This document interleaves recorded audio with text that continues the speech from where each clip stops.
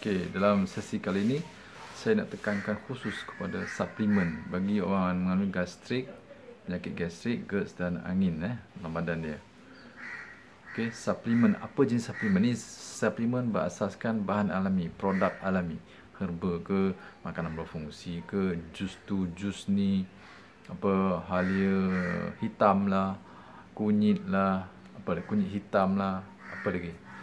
Uh, macam-macam produk kan. Pasaran produk yang rendah histamin ke uh, produk yang bagi uh, enzim probiotics prebiotics eh.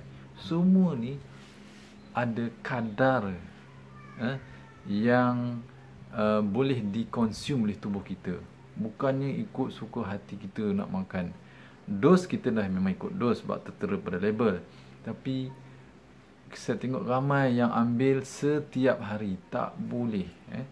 Suplemen tak boleh ambil setiap hari. Walaupun vitamin eh tak boleh.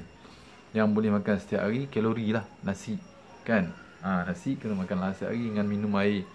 Kan electrolyte perlu setiap hari sebab kita mesti berpeluh menggunakan tenaga kan? Tapi suplemen tak boleh ambil setiap hari khusus pada orang gastric GERD dan angin. Dan juga sebenarnya kepada orang yang sihat tak ada penyakit apa pun sebenarnya tak boleh ambil setiap hari makan produk makanan uh, kesihatan suplemen eh? Produk makanan berfungsi herba. Apa saja herba walaupun kita kata herba ni paling selamat paling alami natural bebas bahan kimia bebas pengawet pewarna semua still tak boleh. Lagi baik lagi dia punya dia uh, jangka masa nak ambil tu lagi pen, lagi apa orang kata pendek. Contohnya seminggu makan sekali dua kali atau tiga kali. Mesti ada rehat sekurang-kurangnya sehari dua hari atau tiga hari. Eh? Kalau lagi sensitif rehat lagi empat hari. Eh? Ha, begitu. Dan bagaimana? Kan banyaklah produk kita nak sebut. Walaupun produk saya sendiri saya biasa bagi dekat uh, pesakit-pesakit gas dan saya.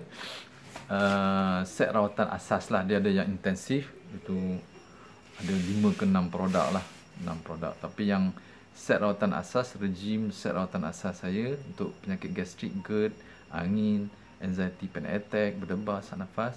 Biasa saya bagi teh bidara bawang kapsul bawang dayak uh, madu sidir himalaya dan juga untuk sapuan eh pada perut dan dada dan tengkuk eh minyak luban aromaterapi.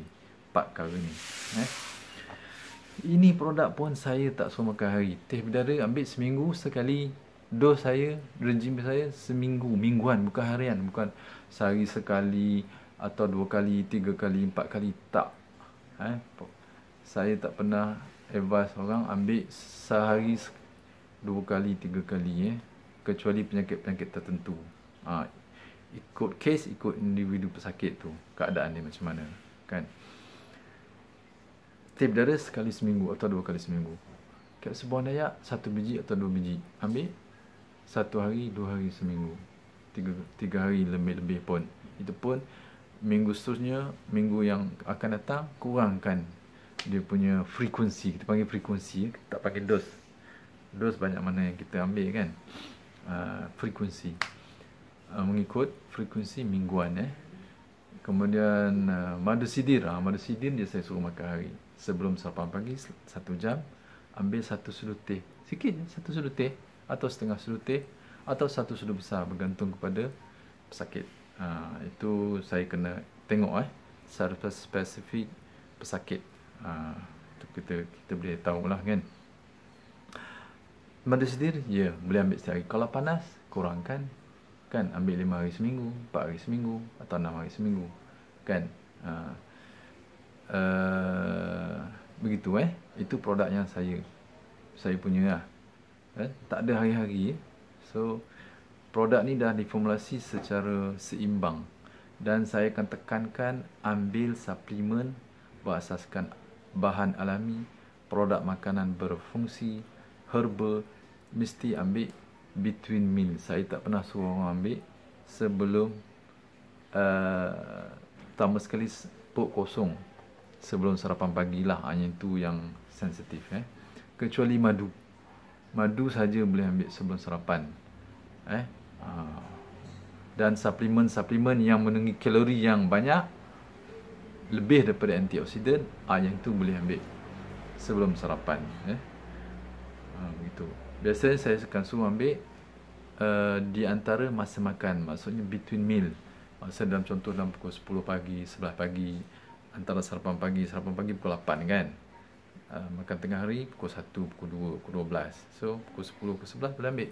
Ataupun pukul 4 pukul 5 makan tengah hari pukul 2 makan malam mungkin pukul 7 pukul 8 so pukul 4 pukul 5 cantik. Pukul 6 cantik lah. Ambil.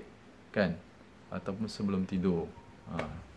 kan? Begitu. Itu untuk yang uh, suplemen tertentu lah eh? begitu eh jadi suplemen berasaskan herba ni kena ambil between meal in between meal di antara masa makan eh? sekurang-kurangnya sejam sebelum dan selepas makan ha. jangan terlalu rapat dengan masa makan kita especially makan berat lah eh? ha, begitu ya hmm. dan saya akan tekankan dia mengambil kalori secukupnya kalau dia nak makan suplemen dia nak makan herba nak makan produk kesihatan dia mesti cukup kalori. Ha, kena makan cukup kalori. Nasi kena cukup. Kan? Nasi nasi berzat lah beras parboil eh. Lepas tu kena makan lemak. Lemak yang sihat lah. Santan butter butter yang alami eh. Buat pada susu lembu ke susu kambing ke kan uh, minyak sapi alami kan? Uh, apa susu minum sikit-sikit tak apa. Tak boleh makan banyak sikit-sikit eh? Hmm lepas tu kena makan protein. Sup protein saya sangat sure sup protein dan masakan berlemak santan eh? Tak boleh makan banyak setengah orang dia trigger kuat. Orang gastrik angin ni uh, lemak dia sensitif. Makan sikit satu sudu satu sudu gaul dengan nasi begitu eh so nak ambil suplemen untuk merawat gastrik yang good jangan ambil setiap hari eh so frekuensi dia ikut jadual mingguan satu kali seminggu dua kali seminggu tiga kali seminggu empat kali seminggu atau lima kali seminggu. Kalau madu lebah, boleh setiap hari. Madu lebah saja yang boleh diambil setiap hari. Itu pun madu yang manis. Kalau madu yang masam, macam madu kelulut kan, ha, yang tu uh, bergantung pada badan seseorang. Kalau dia mudah kena hypoglycemia, gula dia cepat turun, tekanan cepat turun sebab dia banyak tak makan, then uh, tak boleh lah ambil hari-hari. Eh? Uh, So kena cukup, kena seimbang eh dengan kalori kita. Makanan kesihatan, suplemen kena seimbang dengan kalori. Baru kita dapat uh, rasa bertenaga dan kita tak rasa lemah dan angin tak masuk eh. Uh, angin tak jadi angin. Perut kita tak berangin lah orang kata. Itu. So, ya, begitu. So, jangan ambil suplemen apa sekalipun walaupun orang yang menjual tu cakap ini suplemen buat daripada herba 100% alami buat pada bahan makanan sekalipun kan kecuali makanan yang tinggi kalori ha, tinggi kalori tak apa eh ya yeah? gitu eh so jangan ambil setiap hari seminggu mesti ada rehat sehari dua hari tiga hari empat hari bergantung pada jenis kekuatan herba kekuatan antioksidan kekuatan suplemen tu. Oh, begitu eh. Dan satu lagi kena ambil cukup kalori. Jangan makan asyik sayur buah aja. Makan uh, masakan rebus-rebus. Lepas tu makan bumbung, makan rebus, makan ikan bakar. Ikan bakar, ikan selah atau ikan krisi saja. Ikan lain tak makan. Ini satu masalah juga. Tak boleh makan suplemen. Eh? darah dia dah tak cukup zat badan dia tak cukup zat eh tak cukup mineral elektrolit tak cukup vitamin tak cukup kalori kan so badan dia dah sejuk dan angin masuk kan jadi sesak nafas jadi debar-debar jadi darah rendah jadi gula pun turun rendah. Profil dalam darah dia profil cecair darah dia pun dah turun. Macam-macam yang turun lah kolesterol turun bulu turun kan? Banyak tak makan? Elektrolit kan? Sodium rendah potasium rendah. Habis tu macam mana? Eh macam mana tak bertambah teruk bertambah teruk lah kita eh so tubuh kita perlukan kalori ingat kalori jangan takut makan orang takut sekarang makan kalori sebab jadi gemuk kita dah semakin susut pun takut lagi makan kalori. Ah itu semua psycho eh. Efek apa dipanggil eh? Psycho ataupun uh, apa disebut entah. Jadi fobia. Kan? Tak betul eh. Tak betul. Orang yang gemuk sebenarnya makan kalori tak gemuk. Kalau dia amal makanan whole foods alami seimbang bebas bahan kimia aditi dan bebas dari seluruh racun pertanian tak akan gemuk dia makan kalori ya. Ha, kalori yang macam mana makan pula kan? Ha, begitu. So penting jangan ambil suplemen atau herba atau produk-produk apa sekalipun untuk merawat gastrik, angin. Memang kata bagus, makan memang baik. Cuba makan hari dia terbalik eh. Dia akan reverse. Yang baik dia akan jadi tak baik, negatif. Yang dah baik gastrik dia akan jadi gastrik balik, jadi angin balik. Eh, dia punya graf macam ni dan naik. Kita makan suplemen ke produk-produk kan? Produk kesihatan dan naik. Improve improve. Lepas tu graf dia ah dah plateau ah rata. Teruskan lagi ambil suplemen tersebut produk herba tersebut akan menurun. Dah mula reverse. Dan create gastric balik angin balik. Dan akan jadi anxiety panic attack sesak nafas. Ah sebab dah tak seimbang tubuh kita eh. Ah eh tak seimbang. Tak ada tenaga. Bila sel tak ada tenaga macam mana dia nak menjalankan fungsi dia? Kan? So semua mekanisme dalam tubuh kita dah bercelaru dah out jadi rendah. Kan? Punca ke depan untuk sel dah tenaga tak ada tenaga proses untuk seimbang elektrolit cecair kan untuk imun untuk lawan virus untuk proses penghadaman makanan, penyerapan makanan, pengangkutan nutrien ke dalam sel, kan? Uh, pergerakan otot, semua. Sebab tu kita akan jadi semakin lemah. So ingat, jangan ambil produk suplemen walaupun dia tu tepat untuk merawat penyakit tu kan setiap hari tak boleh ambil setiap hari eh ambillah satu hari dua hari tiga hari atau empat hari lima hari seminggu Lepas tu minggu kedua dah improve kurangkan lagi 4 hari kan. Minggu keempat, minggu kelima kurang-kurang. Jadi tinggal sehari seminggu, dua hari seminggu cukup. Begitu eh konsep merawat eh. Faham ini eh? Ini kaedah. Ini satu protokol bagaimana kita nak menggunakan uh, herba ataupun uh, suplemen, produk suplemen, produk kesihatan menggunakan kaedah alami eh. Yang kita kata rawatan alami, rawatan holistik, naturopati pun uh, tak boleh setiap hari diambil. Eh? Tak boleh. Dos memang ikut pada label eh, yang disyorkan. Dan setengah orang individual yang sensitif kurangkan setengah dos, satu perempat dos.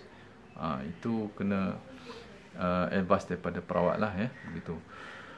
So ini prinsip ya prinsip merawat penyakit. Sebenarnya merawat bukan penyakit gastrik, GERD, angin saja tau. Penyakit lain pun sama juga. Tak boleh setiap hari. Termasuk ubat drugs, ubat hospital. Sebenarnya saya pun tak apa nak shock lah. Tak apa-apa nak setuju lah suruh makan setiap hari seumur hidup. Kan? Ha, itu kita cerita buat kemudian lah. Eh. Setiap hari makan, itu akan menghasilkan kesan sampingan. Eh. Ha? Sama ada ubat yang kita makan tu alami, herba, kan makanan berfungsi, makanan kesihatan ataupun ubat daripada drugs, bahan kimia kan. Eh, ubat hospital pun tak boleh setiap hari. Itu lagi tak boleh setiap hari. Itu dos dia sangat tinggi, bahan aktif dia sangat tinggi. Eh. Uh, kalau ikut Dr. Herman Homopati dia kata mega dos lah drug ni kan. Uh, itu pandangan dia lah. Kan? Okay tak boleh ambil sehari. Kita kena kontrol penyakit kita, simptom penyakit kita dengan pemakanan diet yang seimbang, yang berkualiti, yang betul, yang bertepatan dengan kehendak keperluan tubuh kita seperti mana yang Allah Ta'ala ciptakan kita. Ha, begitu. Ha, baru kita punya kesihatan semakin baik, baik, baik, baik dan dia stabil, optimum. Ha, begitu. Eh? Tubuh kita ada turun naik, turun naik. Tapi dengan pemakanan kita boleh maneuver. Ah, bukan maneuver jet, fighter jet je kan. Tubuh kita pun kita boleh maneuver dengan diet dan pemakanan. Kita nak sihat macam mana, nak tenaga macam mana, nak tubuh langsing macam mana, slim macam mana, kulit macam Semua maneuver dengan pemakanan. This is konsep eh. Konsep untuk sihat dan juga untuk merawat penyakit. Makanan. Ha? Lah paling penting ya. Begitu. Sebab tu eh uh, saya sentiasa menasihati pesakit jangan ambil setiap hari suplemen eh begitu eh alright semoga ni dapat difahami lah eh dan diamalkan eh uh, ada setengah orang perlukan dos lebih tinggi pada masa tertentu pada tertentu itu uh, boleh boleh tingkatkan dos. Mungkin 2 3 hari straight boleh ambil. Kan? Lepas tu dah improve dah semakin baik dah baik dah stabil. Kurangkan dos. Ha, dipanggil taper down dos. Dos tu kurangkan. Dan dia punya frekuensi jarakkan. Kan? Selang sehari selang dua hari selang tiga hari. Ha, begitu. Selang seminggu. Ha, gitu eh. Itu konsep merawat penyakit gastrik ke dan angin. Dan semualah yang lain sebenarnya eh. Ha, maksudnya bagaimana kita nak mengambil ubat. Sama ada ubat alami atau ubat yang drug kita ialah ubat drug tu ikut nasihat doktor lah kan. Dos dia dan frekuensi dia ikut nasihat doktor. Tapi tak boleh selama-lamanya eh akan merosakkan tubuh kita eh. Bahan-bahan alami pun akan merosakkan jadi kita kena tahu macam mana kita nak kawal simptom kita. Kalau gula macam mana dengan pemakanan? Darah tinggi kolesterol semuanya dengan pemakanan kita dapat stabilkan normalkan. Dan ubat-ubatan kita boleh kurang-kurang-kurang dia punya dos kurang-kurangkan dia punya frekuensi sehingga bila dah stabil lama kan automatik doktor akan nasihat tak payah ambil ubat tak payah suntik insulin kan ha. kalau dah normal memang boleh normal eh? Uh, orang kata penyakit kecil manis darah tinggi ni kalau dah kena dah makan ubat kau kena makan ubat sebenarnya tak betul eh?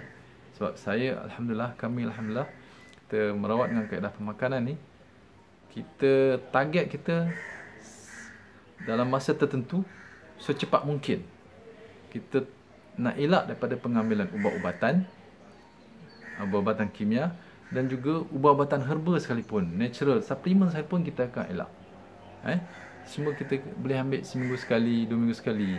Ha, mengikut keperluan tubuh kita untuk stabilkan. Kalau masih ada naik kadang-kadang kita langgar juga kan? Pemakanan kita tak boleh lah perfect 100% uh, mengikut konsep makanan whole dalam seimbang bebas kimia aditif dan bebas dari racun pertanian kan? Uh, mustahil 100% tak boleh so begitu eh So, dos dan frekuensi sangat penting. Jangan ambil suplemen, herba, produk kesihatan untuk merawat setiap hari selama berminggu-minggu, berbulan-bulan. Eh. Rawati penyakit kita dengan pemakanan. Ha, nak, macam mana nak uh, penyakit dengan makanan? Itu uh, apa ni boleh ikuti dengan video-video saya yang lepas eh. Uh, dalam uh, channel Nizam Bidara ni lah eh. boleh type dekat search YouTube Nizam Bidara keluar lah eh. ada dua tu lebih video. So boleh dengar kecil manis macam mana pemakanan dia. Darah tinggi kolesterol macam mana orang jantung macam mana eczema alahan macam mana kan? So ada banyak dia ada banyak video bukan satu video eh. Uh, sebab ada banyak isu perkara dalam hal pemakanan untuk merawat penyakit dan juga untuk menjaga kesihatan tubuh kita masya-Allah begitu eh so uh, saya rasa setakat itu sajalah eh penekanan saya adalah uh, untuk merawat penyakit gastrik GERD dan angin Jangan makan suplemen setiap hari selama berminggu-minggu atau berbulan-bulan eh. Begitu eh. Alright? Uh, mesti ada masa rehat. Okey, sekian terima kasih. Assalamualaikum warahmatullahi wabarakatuh.